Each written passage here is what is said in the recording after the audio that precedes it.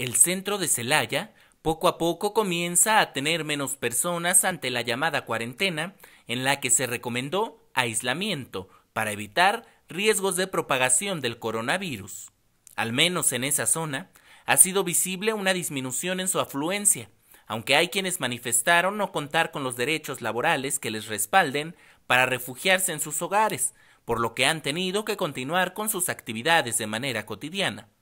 Aunque por la mañana se hace notar la natural ausencia de los estudiantes ante el receso escolar dictado por autoridades estatales y federales, entrado el mediodía, el bullicio, aunque disminuido, vuelve a hacerse presente.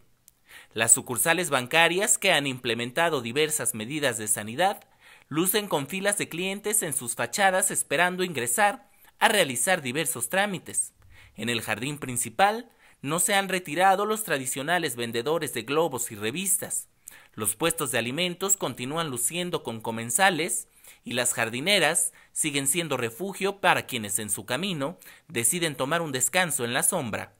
Hasta este jueves, en Celaya, no se había registrado ningún caso positivo del COVID-19, aunque el gobierno del estado confirmó que la Secretaría de Salud se encuentra analizando dos posibles casos en el municipio.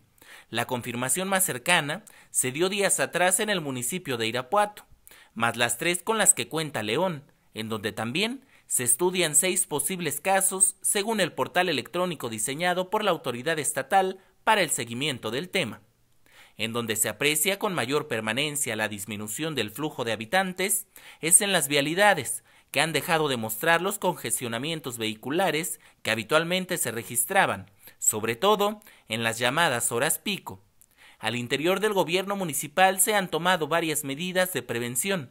y entre recomendaciones impresas que han sido distribuidas en camiones urbanos y espacios de concentración masiva, también han comenzado a insistir en que la ciudadanía opte por el pago de sus contribuciones o servicios a través de medios electrónicos. Hasta este día, el aislamiento permanece como recomendación, aunque de acuerdo a la realidad, no ha sido del todo posible adoptarlo.